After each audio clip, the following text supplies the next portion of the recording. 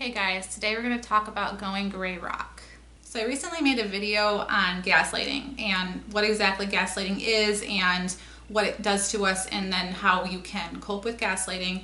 And if you haven't had a chance, I will leave that link to that video in the description box below so you can go and check it out. But briefly in that video, I mentioned this idea of going gray rock as a way to deal with narcissists and I mentioned that I wanted to make a follow-up video talking about what gray rock is and how to go gray rock. So this is that video. We're going to talk about what gray rock is and how to be gray rock in a situation where you can't get away or escape a narcissist because there are lots of situations where we might not be able to get away from a narcissist. Even if we are able to leave, sometimes this might end up being our co-parents uh, it could be a member of your family. It could be a boss or someone that you work with that you have to deal with on almost a daily basis. So there's lots of situations where, as much as we might want to leave or not deal with a narcissist, we still have to.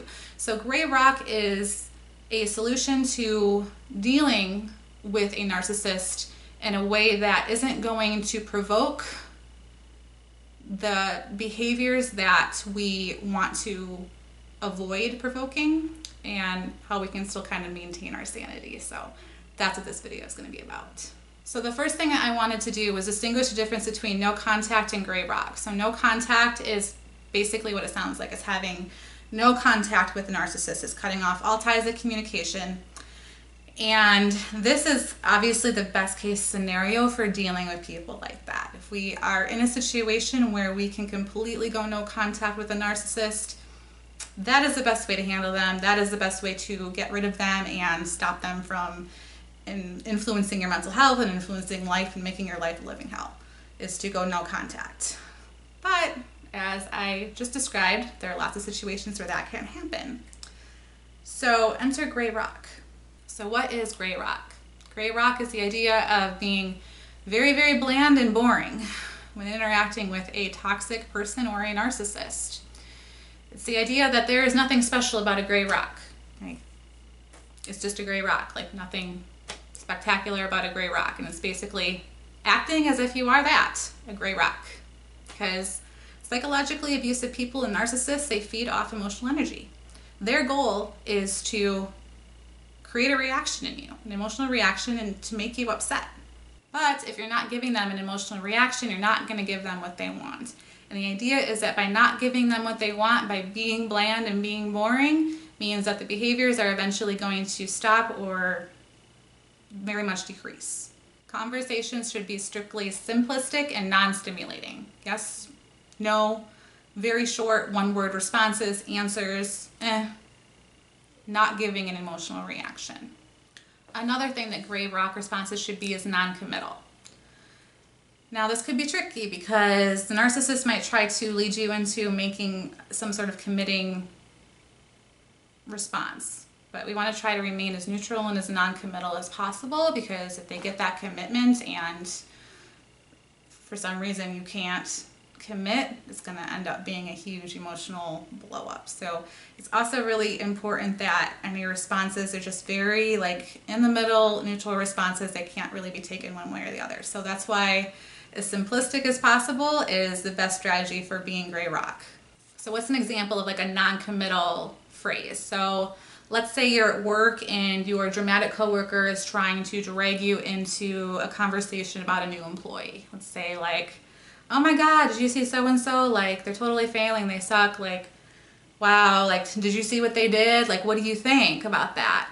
And a gray rock response would be, mm, I don't know. I mean, I guess I didn't see that. And that's it. That's all you have to say. I don't know. Maybe. Maybe is a great word. Maybe doesn't commit you one way or the other, like the word maybe. Because that way you're not ignoring them, right? You're just not giving them like an emotionally fueled response. Bland, boring, no emotional reaction. Second example, with the co-parent. Co-parent says, oh my God, you're always at least five minutes late dropping off our kid. Like, can you try to be on time? Like, really, what is wrong with you? A response could be that's non-stimulating and non-committal. Okay, I'll try. And that's it. That's really all you have to say. There is no follow up response required to that. Knowing when to respond is important when being gray rock too. Like asking yourself, does this even need a response? You need a response, short and bland, but sometimes things don't need a response. Maybe I'll try is a response, and sometimes that's all you have to say. They might come back and attack you again. Be like, oh yeah, you're gonna try? Like, my good, you know, eh. you don't need to respond. You already put forward a response, and that's all that's needed. Another trick to going gray rock is to watch your body language and your facial expressions. Like we can sound bland and non-stimulating as possible, but if our face is giving it all away, like if we're showing signs that we're upset or we're conflicted, a narcissist is going to feed on that because they're going to know that they're getting to you. I think there's a saying that I forgot what percent, but a lot of the percentage of communication is body language. And that is very true. I mean, we say a lot with our body language. Like if we're face to face with a person, sometimes we don't even need a verbal response. We, you know, people can read our facial expression. So when being a gray rock, we want to make sure that we are really, really non reactive in our face or defensive in our body language, relaxed, calm, and just present. Eh. Sometimes this can be hard to do because we're reactive as humans, and when we're being attacked, it's very, very natural to be reactive, especially with our body language. So, some tips for this to kind of disengage from that is to try not to make eye contact. Try to maybe focus on like an object in the distance, like if you're in a meeting with your narcissistic boss and they're ripping you apart and telling you all the areas that you suck and everything you've done wrong this last quarter. Try to look maybe at an object just slightly past their head, not actually in their face. That can kind of help stop any type of negative facial reactions that tell you tell them that they're getting to you.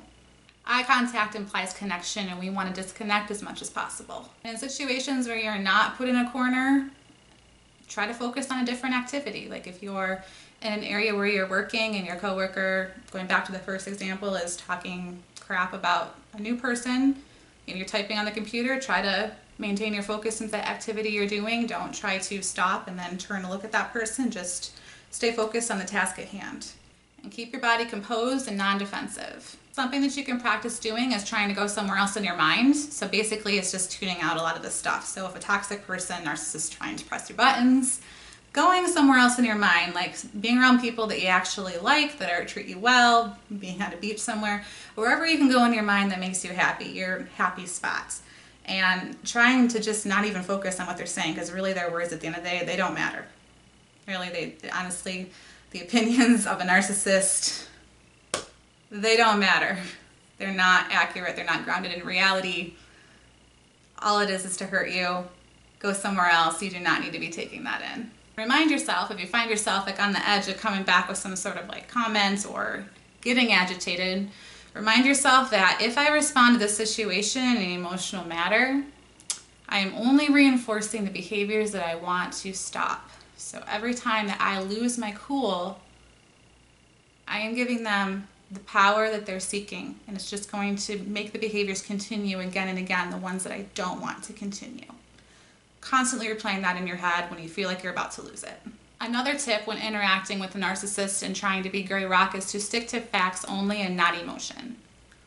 What are the facts of the situation? This was a tip that I gave in that gaslighting video as well on how to undo gaslighting is to making sure that you're sticking to facts and you're only giving factual based responses. You're not giving emotional responses like what are the facts? Facts very rarely contain emotion, right? So just sticking to the facts when you're interacting with them, not acting on emotion, it's important to do when you're trying to be gray rock with someone. And my last tip, which is really important, is when you're going gray rock, don't tell the person that you're gray rocking them. Don't. Because if you tell a narcissist that you're gray rocking them, they're going to see it as a game to try to get you to break. So you might actually cause an exaggeration of their harmful behavior uh, as opposed to a minimization of their harmful behavior, which is what we want to do. And finally, if you are in an abusive situation, seek therapy, seek out help, seek social support. In the description box of all my videos, I leave the numbers to the National Domestic Violence Hotline, so it's down there below. If you need it, use it. Um, it could save your life. If you are in a violent situation, if you are in an abusive situation, make sure that you seek help, seek support, seek therapy if you're able to. It's important. You're important. Do it. Well, that is my gray rock video. Hopefully this was helpful in learning some ways to become gray rock and things that work and things that don't work. As always, if you have any questions, feel free to leave them below and I will respond to you. Um, give this video a thumbs up if you found it helpful. Help promote this video, help promote this channel. This content's important for people. It can really help save a life. So if you like this video, give it a thumbs up. As always, if this is content that you're interested in, subscribe because I release new videos every single week. And I will continue to be releasing videos more of this type as well because this is a subject that is very, very close to my heart and very important to me. Um, so subscribe if you want to see more. And have a great day. Again, my name is Jenna. I'm a therapist and I will see you at the next video.